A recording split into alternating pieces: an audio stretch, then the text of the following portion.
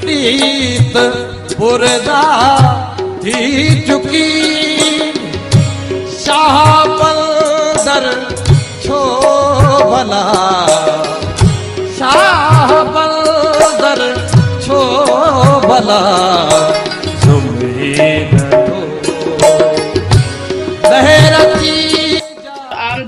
बढ़ने की वजह से ये एक कामयाब बंदर साबित हुआ।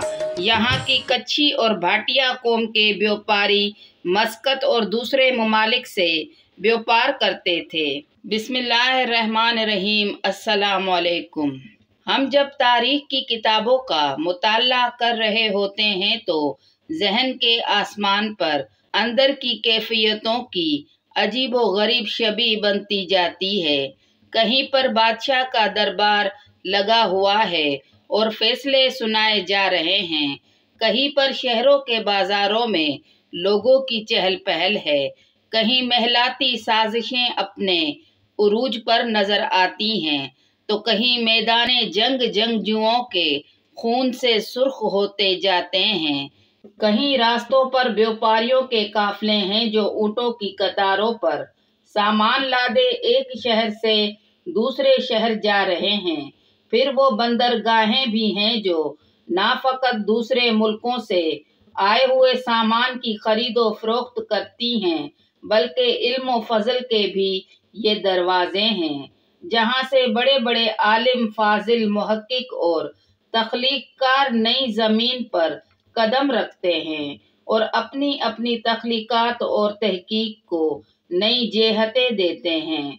फिर हमें वो सल्तनतें भी दिखाई दी जाती हैं, जिनके नसीबों में सुख की साँसें लेने के लिए बहुत ही कलील अरसा तहरीर किया गया।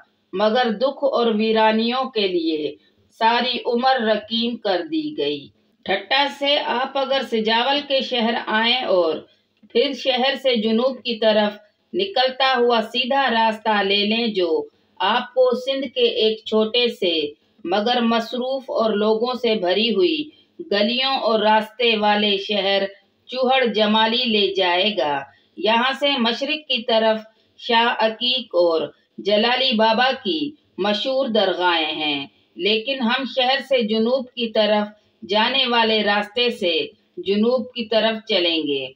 आप कुछ किलोमीटर जुनूब की तरफ़ सफ़र करेंगे तो मशरक की तरफ़ कुछ पहाड़ियाँ अचानक से आपको नज़र आने लगती हैं।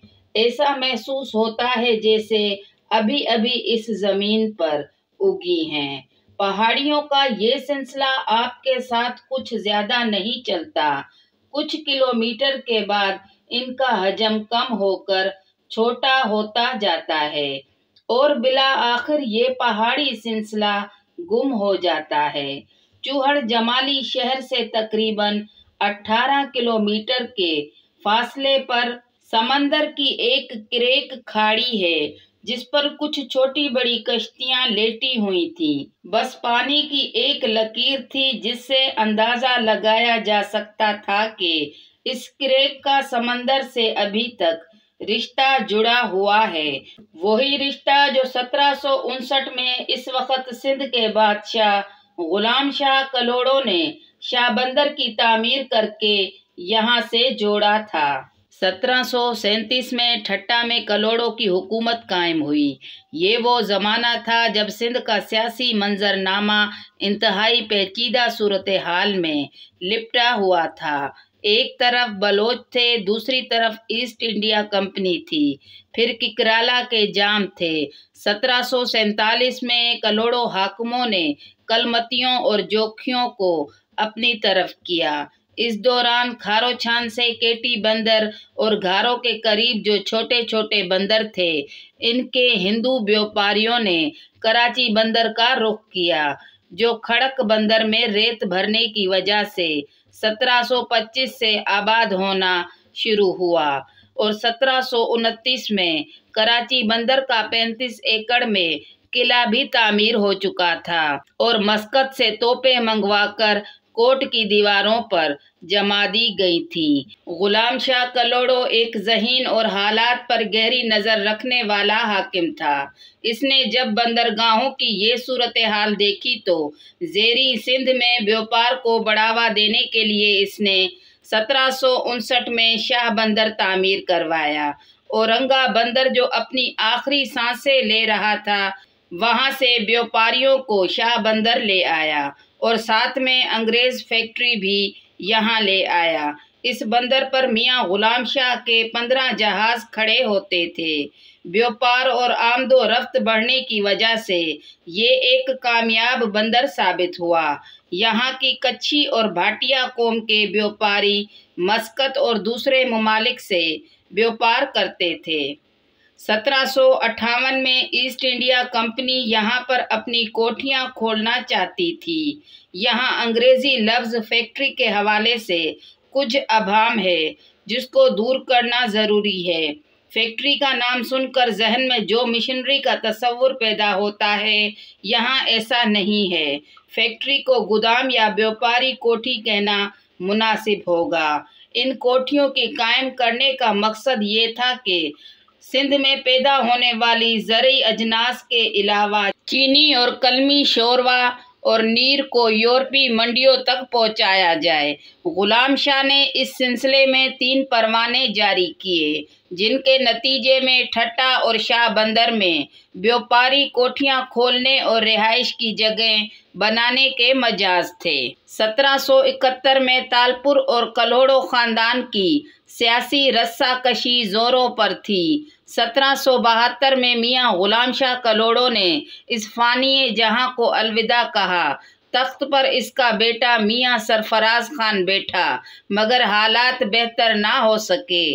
1775 में ठट्टा और शाह बंदर की कारोबारी कोठियाँ बंद कर दी गईं। सत्रह सौ चौरासी में कलोड़ों की हुकूमत ने अपने नसीब के लिखे दिन पूरे किए तो तालपुरों के भाग जाग गए, और यूँ मीर फतेह अली खान को तालपुरों का पहला हुक्मरान बनने का एजाज़ मिला। वक्त को सरशस्त में बदलना है, जिसे हम बदल नहीं सकते।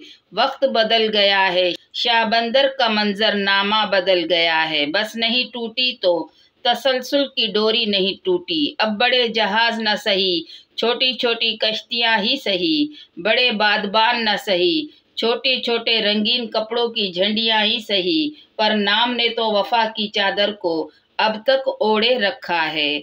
अभी तक इस लम्हे की लाज को मेला नहीं होने दिया गया, जिस पल ये नाम रखा गया था। 200 बरसों से समंदर ने भी मुँह नहीं मोड़ा और आज तक इस बंदरगाह से रिश्ता जोड़े हुए है। ये बड़ी बात है। कभी कभी बेजान चीज़ें और इत्तफाकात हमें बहुत कुछ सिखा जाते हैं। ये इलाका समा सरदार खेरों की रियासत की कराला थी। तारीख के औराक बताते हैं कि सिंध पर समा सरदारों ने तेरह सौ इक्यावन से पंद्रह सौ उन्नीस तक हुकूमत की, क्योंकि इनके रिश्तेदार गुजरात और कच्छ की तरफ़ राजवाड़ों की सूरत में मौजूद थे। इसीलिए उनको हर हवाले से मदद मिलती रहती थी। अगर यहाँ ज़मीन तंग पड़ जाती तो ये वहाँ चले जाते। हुकूमत के खात्मे के बाद धीरे धीरे सियासी हवाले से जनूबी सिंध में फ़कत समंदर किनारे, जिसे किकराला कहा जाता है, अपनी आज़ाद रियासत कायम की। यहाँ बड़े बड़े कोट किले थे, मगर अब वक्त की दीमक ने कुछ नहीं छोड़ा। इनके दो कब्रिस्तान मशहूर थे, एक चिटड़ियों के नाम से जाना जाता है, जिसको समंदर ने निगल लिया। इसीलिए अब वहाँ शोरीदा पानी और वीरानी के सिवा कुछ नहीं है। दूसरा, अब्बन शाह टक्कर के पास कुछ मकबरे रह गए हैं, वो देखे जा सकते हैं। जिस रफ्तार से हम अपने माजी को दोनों हाथों से बर्बाद कर रहे हैं इसे लगता है कि एक ऐसा वक्त भी आएगा, जब गाँव तो होंगे मगर इन सर्द रातों और तपती दोपहरों में। माओ के पास अपने बच्चों को सुनाने के लिए कोई माजी की कहानी या किस्सा नहीं होगा, और ये कोई अच्छी सूरत हाल नहीं होगी। आज की वीडियो आपको पसंद आए तो लाइक करें, शेयर करें और सब्सक्राइब करें। अपनी राय का इजहार कमेंट्स बॉक्स में ज़रूर करें। Thank you.